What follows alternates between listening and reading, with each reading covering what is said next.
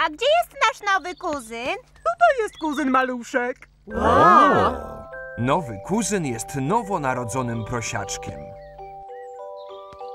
Och, jaki śliczny. Czy to jest mała dziewczynka? Nie, to jest chłopczyk.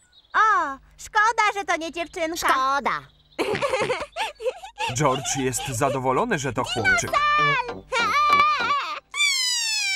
Maluszek jest za mały, żeby bawić się dinozaurem. George, maluszek nie chce się z tobą bawić. On chce się bawić ze mną. Pepo, dzidziuś jest za mały, żeby bawić się piłką. Jeśli on nie chce bawić się dinozaurem ani piłką, to co może robić? On tylko je i śpi. I nic więcej. Ciociu Świnko, czy mogę podtrzymać maleństwo? Tak, ale bądź bardzo ostrożna. Proszę, weź Aleksandra. Aleksandra? Tak ma na imię dzidziuś, Aleksander. Takie wielkie imię dla takiej malutkiej świnki. Całkiem miły. Nawet jak na chłopca. O! Co to za zapach? Myślę, że trzeba zmienić Aleksandrowi pieluszkę. To okropne. Peppo, kiedy ty byłaś mała, też nosiłaś pieluszki. Wcale nie. Mamo, mogę się pobawić z Pepą i George'em w ogrodzie? Tak.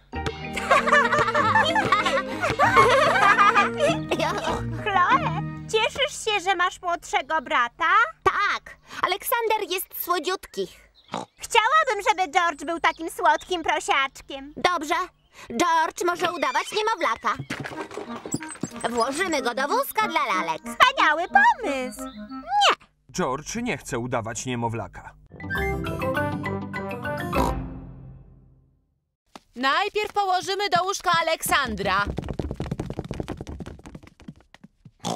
To jest sypialnia Aleksandra. Aleksander lubi hałas. Zasypia przy nim. My lubimy hałas i głośną muzykę. Jesteśmy hałaśliwą rodziną. Pepo, George, dzisiaj będziecie spać w moim pokoju. O, wspaniale. Peppa i George byli podekscytowani noclegiem w pokoju Chloe. Dobranoc. Dobranoc. Dobranoc. Dobranoc. Dobranoc. Wszyscy znaleźli się już w swoich łóżkach. Zasypiali. Mały Aleksander obudził się. Peppa i George też obudzili się. Co to za hałas? To tylko odkurzacz. Dlaczego odkurzacie w nocy? Mam nadzieję, że nie przeszkadza wam. Co? O, nie! Aleksander najlepiej zasypia przy pracującym odkurzaczu. Lubi ten hałas. Jesteśmy hałaśliwą rodzinką. Wszyscy wrócili do łóżek. Zasypiali. Mały Aleksander obudził się.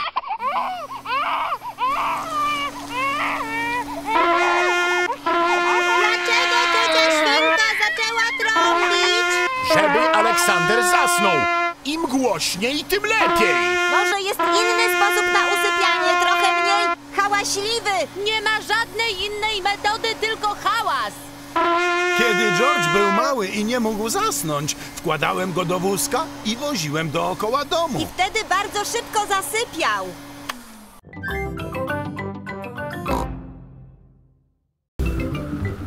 Zabrałeś wszystko, o co prosiłam? Oczywiście, że tak. Poduszki, świece zapachowe, muzyka kontemplacyjna i jedzenie na trzy dni. Spokojnie, spokojnie! Jest tam ktoś? Rodzi nam się królik!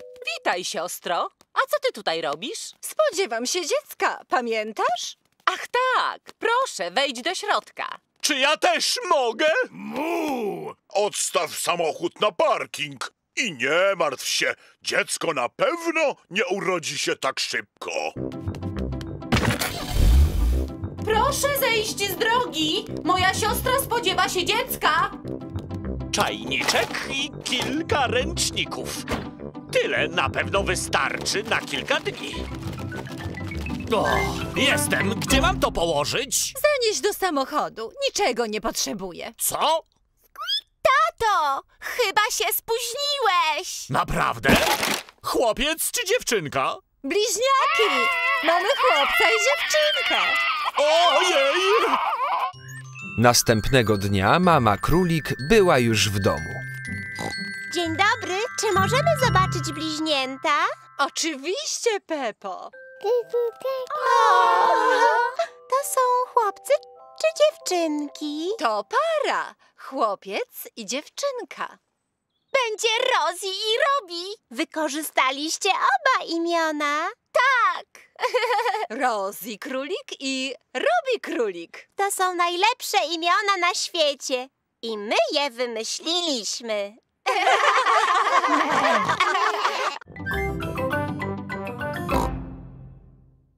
To co robiłyśmy? Płakałyście.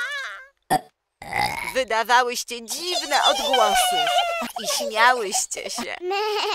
Byłyśmy dziećmi. Dziecko Suzy, dziecko Pepa. Go, go, gaga, go, go, go, go, ga. Ale rosłyście bardzo szybko. A gdzie był George? Był dzidziusiem w moim brzuszku. Tak, George, byłeś w moim brzuszku. Ty, tatusiu, też masz duży brzuch. Czy jest w nim jakiś dzidziuś? O nie, nie, Pepo. W tym brzuchu są tylko mięśnie. Wkrótce urodził się George. A dziadek i babcia dali George'owi wyjątkowy prezent. Zgadniecie, co to było? Dinozaur. Oczywiście. A ty i Suzy wciąż biegałyście i skakałyście. Pewnego dnia zobaczyłyście coś wspaniałego. Kałuża z błotem.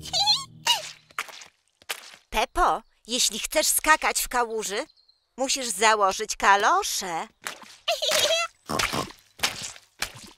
Uwielbiałaś skakać w kałużach z błotem. I nadal uwielbiam.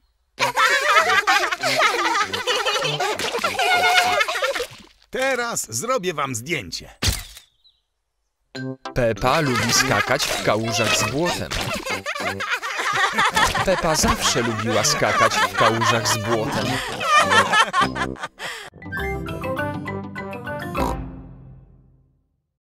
Lemoniada, moja ulubiona. Mm, jest smaczna. Proszę, siadajcie. Jesteście głodni? Zawsze jestem głodny. Spokojnie, zaraz zjemy. Pan kangur zamierzał przyrządzić coś na grillu. Grillowana kukurydza? Chętnie. Powinniśmy to zrobić w naszym domu. Ale zaraz, tutaj też jest nasz dom. Chodź, Kylie, pobawimy się w ogródku. Pobawimy się w moją ulubioną zabawę. Skakanie w wielkiej kałuży z błotem. Ja też lubię skakać. Najpierw musimy znaleźć kałużę. Ojej, chyba nie znajdziemy kałuży. Słońce dokładnie wysuszyło ziemię. Przydałby się deszcz. Chyba nie będzie padało. Och, my lubimy deszcz. Nie chowamy się w domu. No tak, jeśli chcesz, żeby spadł deszcz, zacznij grillować. My często skaczemy.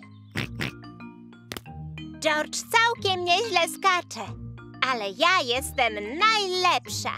Popatrz tylko. Tak to się robi. Teraz ty spróbuj. Dobrze. Kangury skaczą bardzo wysoko. Ojej. Przyszła Rebeka Królik. Cześć, Rebeko. To moja przyjaciółka Kylie. Cześć, Kylie. Bawicie się w coś? Tak, skaczemy sobie. Króliki najlepiej skaczą. Popatrzcie. Dobrze, Rebeko. Ale nie tak dobrze jak moja przyjaciółka Kylie. Proszę, teraz ty podskocz. Naprawdę muszę? No pewnie. Dobrze bardzo wysoko. Cześć, Pedro! Dzień dobry! Witam w moim kowbojskim obozie!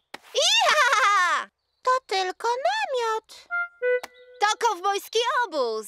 W nocy wszyscy kowboje w nim śpią. Ty też będziesz w nocy w nim spał? O, nie! Pewnie trochę bałbym się, ale możemy udawać, że jest noc. Tylko nie jest ciemno. Wyobraźmy sobie, że słońce to księżyc. Dobrze. Pedro, my też możemy być kowbojami. Tak, będziecie moimi partnerami. Czy mój kowboj nie jest głodny? Oczywiście, że jest, mam. Tak właśnie mówią kowboje. Czy inni kowboje i kowbojki też coś zjedzą? Tak jest, mam. Jeśli kowboje są w obozie, to zawsze mamy im gotują? Nie, wyobraźmy sobie, że tu nie ma domu ani mamy. A my jesteśmy na dzikim zachodzie. A co to jest? Dziki Zachód to miejsce, gdzie żyją wszyscy kowboje. A co robią kowboje? Opowiadają historie, śpiewają piosenki i jedzą fasole. Kanapki z fasolą dla wszystkich. Kowboje lubią kanapki z fasolą. Wszyscy lubią kanapki z fasolą. Co kowboje chcą usłyszeć? Znasz jakąś kowbojską piosenkę? Tak, zaraz zaśpiewam. Brzmi ona tak. Jak każdy kowboj lubię czasem coś zjeść, a najbardziej fasole i bób. Ziarnko tu, ziarnko tam, to jest pyszne, mówię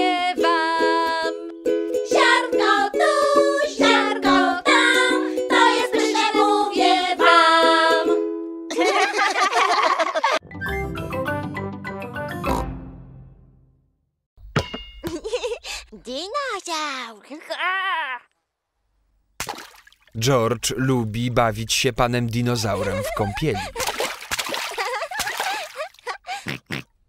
A w nocy George zawsze zabiera pana dinozaura do łóżka. Dinozaur.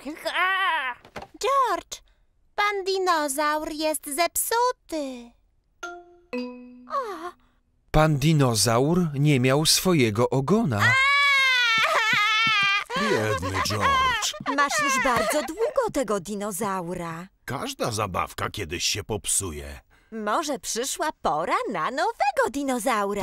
Tak, jutro wybierzemy się do sklepu pana Lisa. To jest sklep pana Lisa.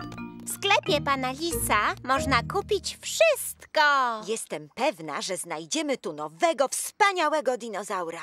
Dinozaur. George nie chciał nowego dinozaura. Popatrz, synku, wielki dinozaur.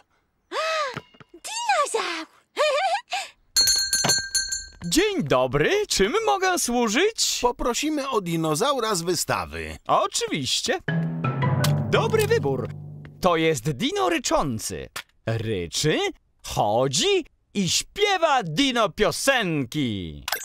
Dinozaur, dinozaur, wita wszystkich dinozaur. Ojej! Dinozaur. Kupimy go.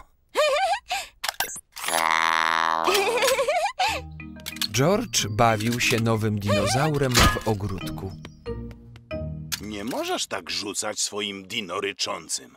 Ma ruchome części i łatwo go zepsuć. George nie mógł bawić się dinozaurem w ogródku.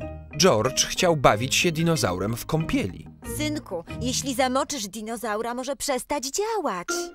George nie mógł bawić się dinozaurem w kąpieli. To idealny dzień, żeby nic nie robić. Tato świnka lubił nic nie robić. Cóż może być lepszego? Już wiem, filiżanka herbaty. Dziadek świnka przyjechał odwiedzić Pepę i George'a. Dziadek świnka. Atakinka. Cześć, Pepo, cześć, George. Przyjechałem, aby wam urządzić kwiatowy ogródek. O, ogródek dla mnie i George'a?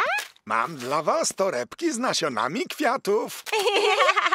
Teraz potrzebne jest słoneczne miejsce, w którym wysiejemy nasionka. Może być tutaj.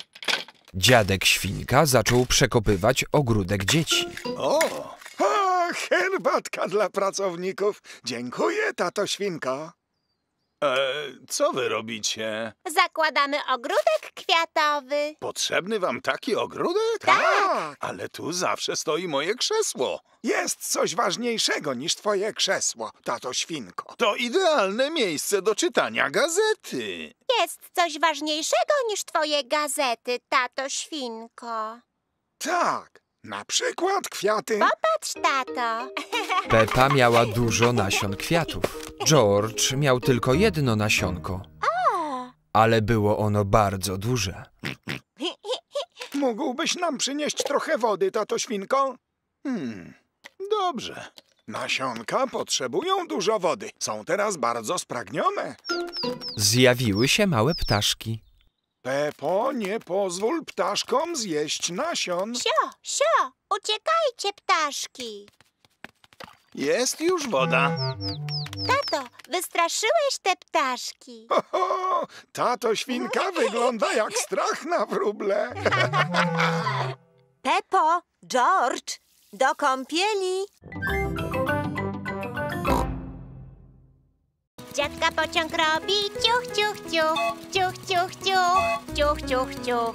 Dziadka pociąg robi ciuch, ciuch, ciuch i mknie w dal. Panna Królik przewozi dorosłych dużym pociągiem. Dzień dobry, dziadku Świnko! Znowu wyjechałeś swoją zabawką? Gertruda nie jest zabawką. Jest prawdziwą, małą lokomotywą. Tak, masz rację. Pa! Szybciej, dziadku, szybciej. Nie mogę. To największa prędkość, z jaką może jechać. Duży pociąg jeździ znacznie szybciej. Ojej, duży pociąg zepsuł się. Co się dzieje? Śpieszymy się do pracy! Witaj, panno królik. Masz jakieś problemy z pociągiem? To nie jest śmieszne, dziadku Świnko. Pasażerowie muszą zdążyć do pracy. Powinnaś mieć taki pociąg, który nigdy się nie psuje, jak Gertruda. To bardzo dobry pomysł. Wysiadaj, dziadku. Co? Pożyczę twój pociąg. Przesiadka! A co ja mam teraz robić? Zostań i spróbuj zreperować duży pociąg. Dobrze. Lubię naprawiać różne rzeczy. O, niesamowite! Podróżujemy zabawką! Gertruda nie jest zabawką. Jest prawdziwą, małą lokomotywą. Oczywiście. Odjeżdża pociąg zabawka. Czy nie mogłaby jechać szybciej? Nie, Gertruda nie jest pociągiem pośpiesznym. Na następnej stacji czeka na pociąg pani krowa. Co się stało z prawdziwym pociągiem? Skurczył się? Nie, to tylko pociąg zabawka. Gertruda nie jest zabawką. Jest prawdziwą, małą lokomotywą.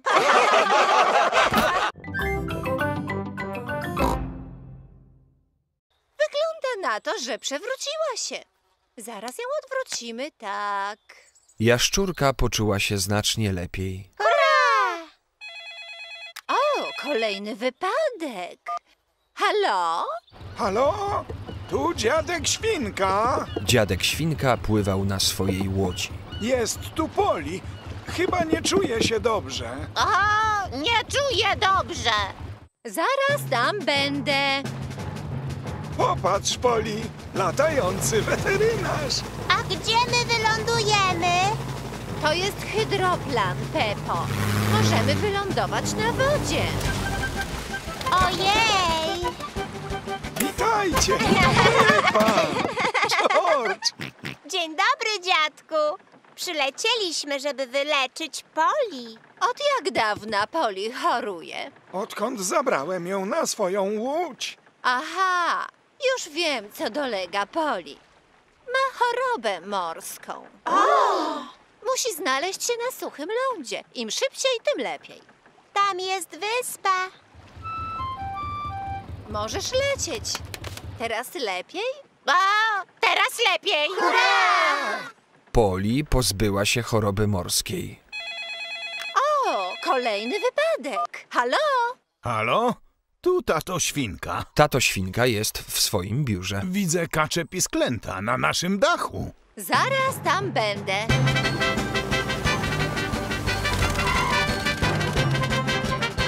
O, Dobrze, że jesteście. Proszę o spokój. Jestem doktor Hamster. Pani kaczka złożyła jajka na naszym dachu. I wykluły się z nich pisklęta. Kto potrafi naśladować głos kaczki? Ja potrafię bardzo dobrze kwakać. Pepo, zacznij kwakać, a pisklęta przyjdą do ciebie.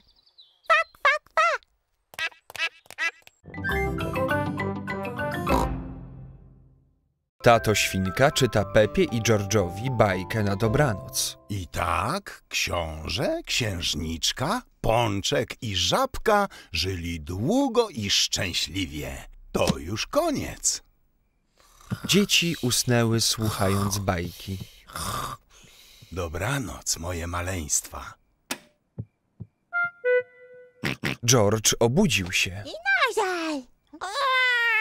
George, jesteś niegrzeczny. Powinieneś już spać. George'owi nie chce się spać. George, w nocy wszyscy śpią, a nie bawią się. Cii. Jak chcesz, to opowiem ci bajkę. Dawno, dawno temu była sobie mała świnka. Nazywał się świnka George. Ale George nie miał szczęścia. Przybył do wielkiego lasu. George, podoba ci się ta bajka? W środku lasu stał mały domek. A w domku na stole stała miska z owsianką. Świnka George był bardzo głodny, więc wszystko zjadł. Miam, miam, miam. A kiedy już skończył, zjawił się mały miś i powiedział: Oj, zjadłeś moją magiczną owsiankę. George odpowiedział: Tak. Mały miś powiedział: Ta magiczna owsianka sprawi, że zaraz staniesz się bardzo duży. I George zaczął rosnąć. Rósł i rósł i rósł, aż stał się wyższy niż wszystkie drzewa w lesie. Prawdziwe dinozaury wymarły 65 milionów lat temu. Edmund wie prawie wszystko na temat dinozaurów. Interesuje się nimi. Ale mamy coś lepszego niż prawdziwe dinozaury. Mamy śpiewające dinozaury. To dinozaur śpiew, to nośny śpiew, wesoły śpiew. To dinozaur śpiew, śpiewamy dla was dziś.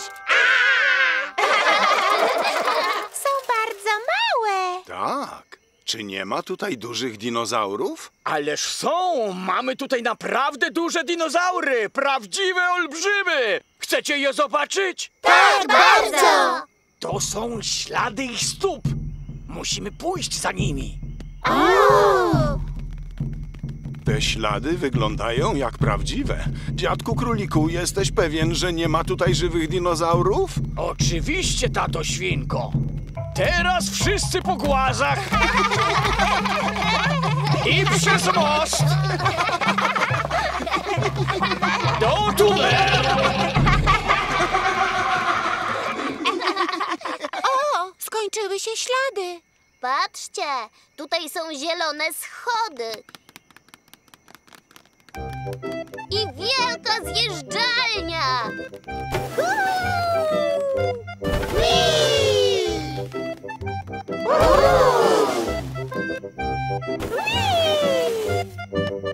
Ojej, to wielki dinozaur. Tak, to mój największy olbrzym, dinozaur zjeżdżalnia!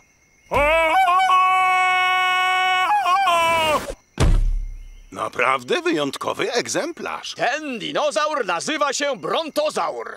Naukowcy zmienili nazwę na apatozaur. Interesują cię dinozaury, prawda? Tak.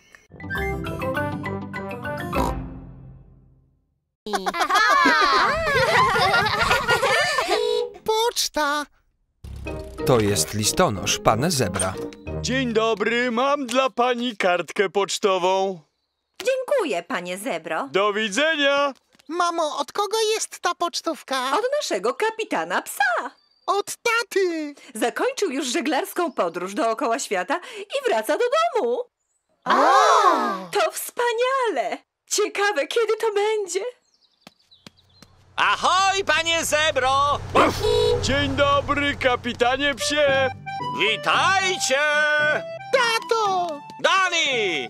Tato! Dani! Tato! Kapitan pies wrócił do domu z rejsu. Mój kapitan pies! Mama pies! Moja ukochana! Tato, jak długo zostaniesz w domu? Na zawsze! Zdecydowałem, że nie będę już podróżował. Opłynąłem dookoła świat i zdobyłem fortunę. I wszystko straciłem. I znowu zdobyłem. Ech, kocham podróże, ale podczas nich zawsze bardzo tęsknię. Za kim, tato? Za wami oczywiście! Odwieszam już na dobre moją kapitańską czapkę. Teraz pozwólcie, że opowiem wam o mojej podróży. Byłem w podróży przez rok i jeden dzień. Żeglowałem dookoła świata. Cały czas dookoła? Tak, A jak płynąłeś na dole ziemi? Nie wypadłeś z łodzi? nie! Mocno się trzymałem. Ojej, miałeś przygody? Pewnie, że tak, ale mam też dla was wszystkich prezenty.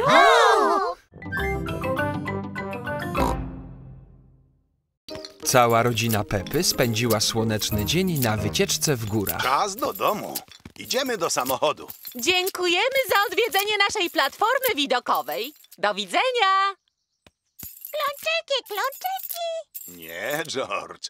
Nie możesz bawić się kluczykami. Mógłbyś je zgubić. Ty, tato, bawisz się kluczykami. Ale ja jestem dorosły i nie zgubię ich.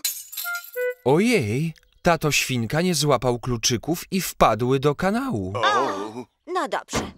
Możemy wracać. e, to może być trudne. Dlaczego? Tato bawił się kluczykami i wpadły do kanału. O, tato świnko. Nie martw się. Zaraz wyciągnę je tym patykiem. Hurra! Hmm. Chyba wpadły głębiej niż przypuszczałem. Patyk był za krótki i nie można było wyciągnąć kluczyków. Wiem, co zrobię. Potrzebna mi wędka. Wtedy złapię kluczyki na haczyk. Może panna królik ma w sklepiku wędki? E, czy ma pani wędki? Mam tutaj jedną, choć nie wiem po co. Tutaj nie ma w czym łowić ryb. Nie chcemy łowić ryb. Chcemy złowić kluczyki. Tato bawił się kluczykami i wpadły mu do kanału. Oj, nie wiem, czy wam się to uda. Ta studzienka jest bardzo głęboka. A po co ona tu jest? Kanałami woda deszczowa odprowadzana jest do morza. Żyłka na kołowrotku też była za krótka. Nic z tego. Musi być bardzo głęboka. Możemy to łatwo sprawdzić, wrzucając kamień. Dobry pomysł, panno królik. Będziemy liczyć dotąd, aż kamień uderzy o dno. Raz, dwa, trzy, cztery, pięć, sześć.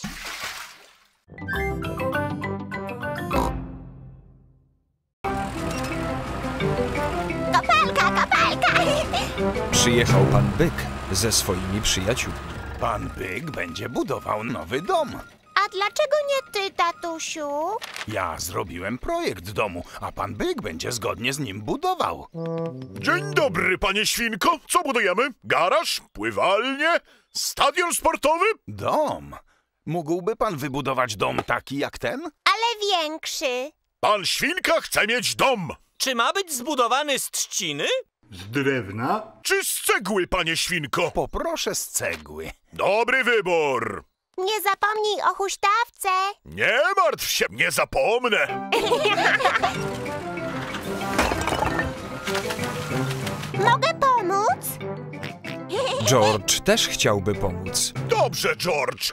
Mógłbyś rzucić w tym miejscu trochę zaprawy? To wygląda jak zwykłe błoto. Zaprawa to takie specjalne błoto, które mocno skleja ze sobą cegły. Pepo, możesz położyć pierwszą cegłę. Już kładę. Doskonale! Ja ułożę resztę. Cegły układa się równo jedna za drugą. Widzisz? Warstwa po warstwie. I tak coraz wyżej, prawda? Tak! Czy skończy pan dzisiaj? O nie! Nie można zbudować domu w jeden dzień. Może skończymy jutro. Dobrze. Do jutra, panie byku. Do widzenia! Do widzenia! George rzucił na ziemię trochę zaprawy, a ja położyłam na niej cegłę. To bardzo interesujące. A teraz zamykamy oczka i śpimy.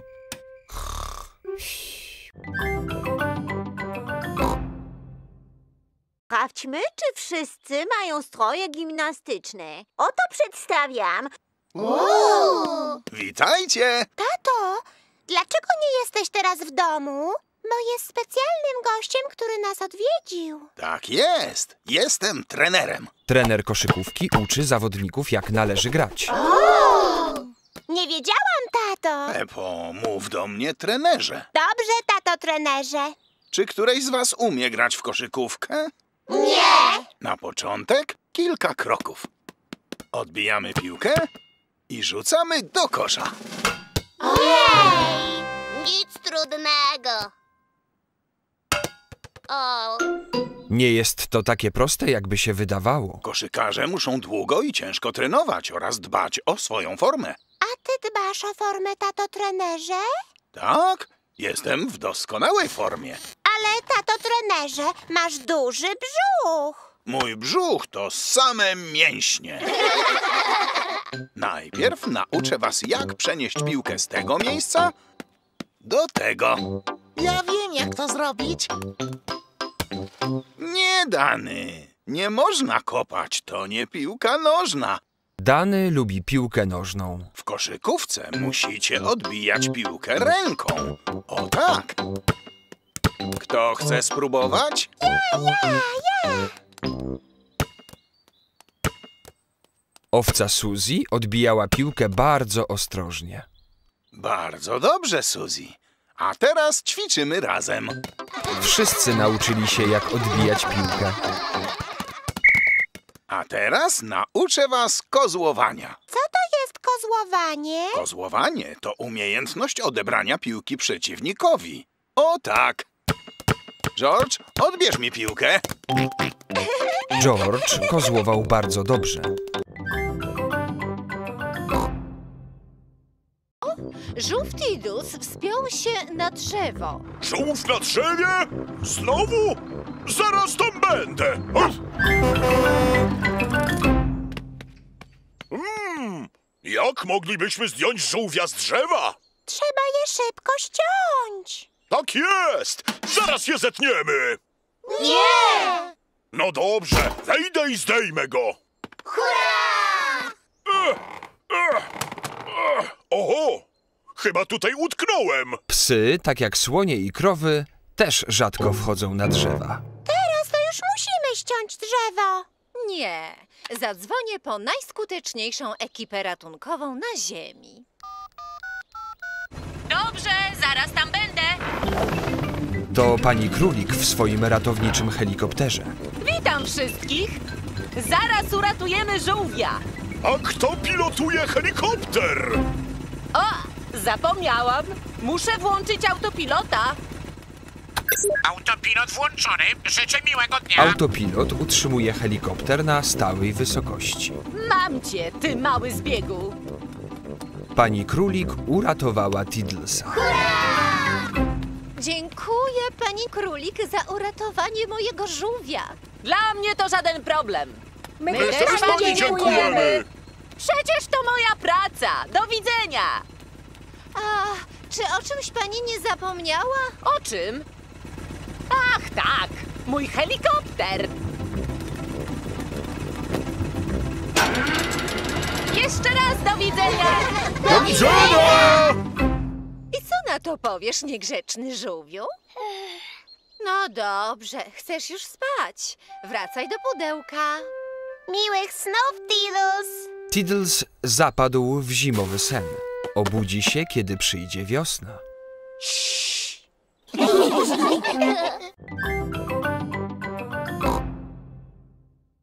To jest twoja część, a to moja część. Nie przekraczaj tej niewidzialnej linii. Dzwonek!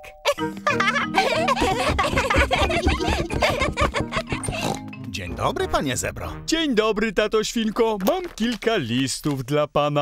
A jest jakiś list dla mnie i George'a? Hmm, chyba nie ma. Są tylko do mnie i mamy.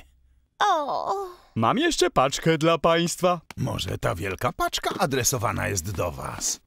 Popatrz, ile tu jest znaczków. Musi być tak dużo, bo odbyła bardzo długą drogę. Do widzenia! Do widzenia! O, rzeczywiście adresowana jest do Pepy i George'a. Popatrz, mamo, paczka dla mnie i George'a. O, Mamy też list.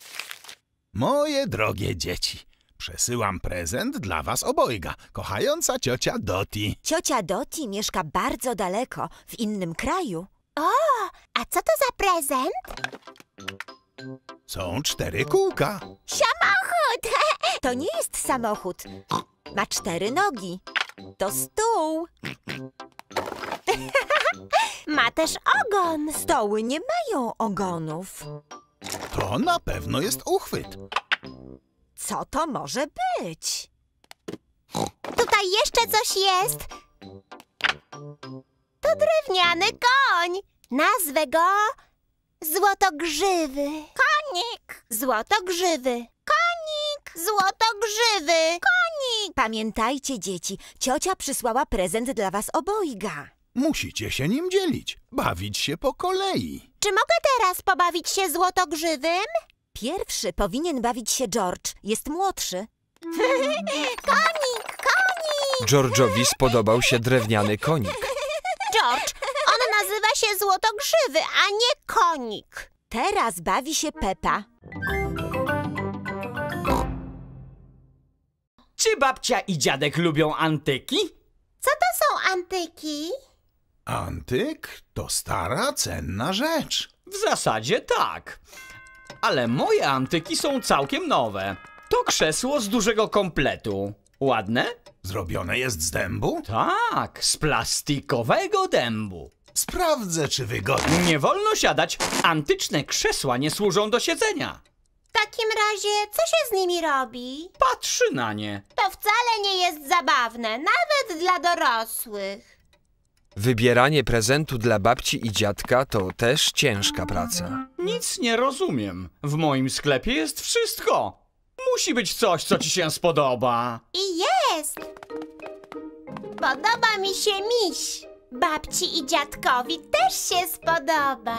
No dobrze, w takim razie kupimy misia. To dobry wybór. Kto płaci? Jedna moneta i jeden guzik. Oddaję resztę, jeden guzik. Dziękuję, panie lisie. Wszyscy przyjechali do babci i dziadka. Babciu, dziadku! Witajcie, moje dzieci. Wszystkiego najlepszego. O, kolejny kryształowy wazon. To prezent dla dorosłych, ale nie można się nim bawić. Jest piękny. Postawimy go obok innych wazonów. George i ja też mamy prezent. Podoba się wam? Pluszowy miś dla dziadka i dla mnie. Dziękujemy Pepie i George'owi. Jest bardzo miły i miękki. Jak się nazywa? Um, to jest misiaczek pluszaczek. A co nasz misiaczek lubi jeść? Czekoladę z brokułami. To najmilszy prezent, jaki dostaliśmy. O, ale miś potrzebuje towarzystwa dzieci, które bawiłyby się z nim. My możemy się z nim bawić.